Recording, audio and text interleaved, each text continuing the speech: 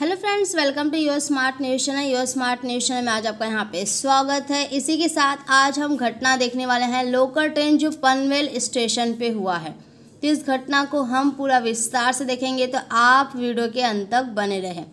Railway platform से mobile phone चोरी, लगातार देखा जाए तो ये अब तीसरी केस एक ही हफ़्ते के अंदर ऐसा निकल के आ रहा है।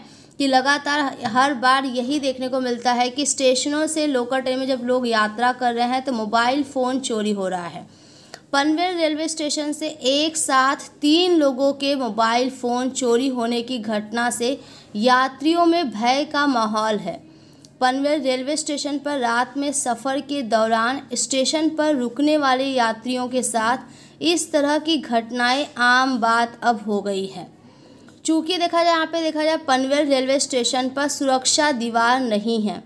बदमाश आसानी से प्लेटफॉर्म में प्रवेश करते हैं और मोबाइल फ़ोन चोरी कर फरार हो जाते हैं। ये देखा जाए, इस हफ़्ते के अंदर तीसरी ऐसी घटना देखने को मिल रहा है कि मोबाइल फ़ोन्स लोगों के चोरी हो रहे हैं। इसी के साथ आज तीन लोगों का एक ही साथ में मोबाइल फ़ोन चोरी हुआ कि लोग पूरी तरीके से डर गए हैं।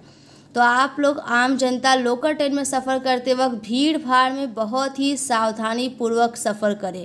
क्योंकि मोबाइलियाँ देखा जाए तो चोरी हो रही हैं, साथ में पर्स चोरी किए जा रहे हैं।